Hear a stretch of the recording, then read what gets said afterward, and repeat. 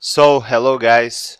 Today we will start the fourth exercise, which is on moving loads on a two-dimensional steel frame, as you can see here. This is a frame that we are going to analyze. So, uh, I will follow the, the steps here shown in this book. First of all, let's select this icon and make this section database the one that we are going to use.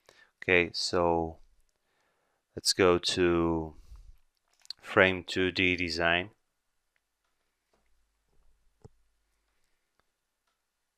And go to tools, job preferences, database is still in timber.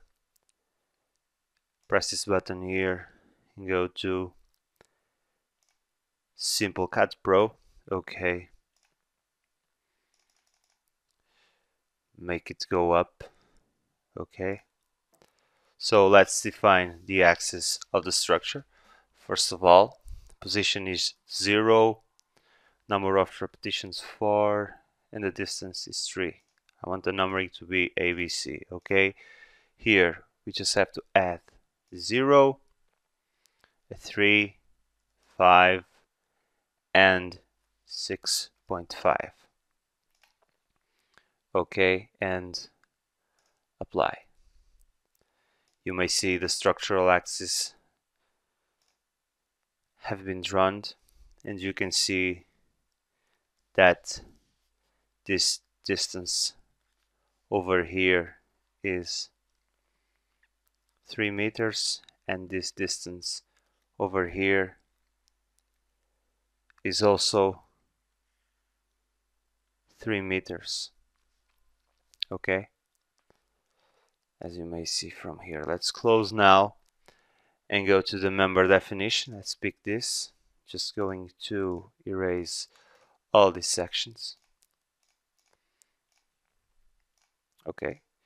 Pick new. Pick a steel member. Pick the I section simple cut pro okay and define an HEA200 like that that HEA260 and also an IPE 200 okay? Add close this. Now let's go and uh, close this and pick bars. The bar type we are going to define the column, so the bar type will be column. This is the section that we are going to use. And I'm going to type the coordinates, which will be 0, 0, 0, 5, enter. 12, 0, 12, 5, enter. 6, 0, 6 3 enter okay here we have our columns.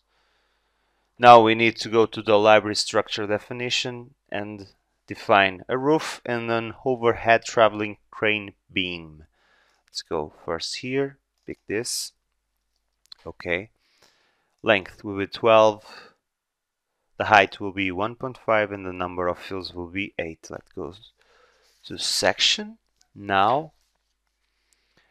And I want to all truss shorts upper and lower the DCEAD okay it's this one here. 90 okay now I'm just going control C control B to copy that. And here I want a CAE 70 by 7 okay now just going to copy it paste it. Let's go to the insertion point and will be 005. Apply OK. Uh, we have our roof. Now I need to define the beam for the crane. Press once again here, double click here. The length will be 12 once again. I want the height of 1 and number of fields will be 8. For the section, the same we are going to use here the same cross section that we have used previously in the roof okay? Okay copy this to here diagonals.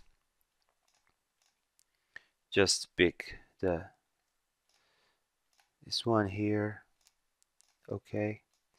Copy that paste that here. Apply oh sorry I need to select insertion point which will be 002 apply okay. Now I have to do one step here as you may see. Bar number one and this little bar here from this crane beam are super are um, are on the same axis. Uh, I need to this is just a duplicate. I need to eliminate this bar. Control this bar. Press control and select this bar and press delete. Okay apply.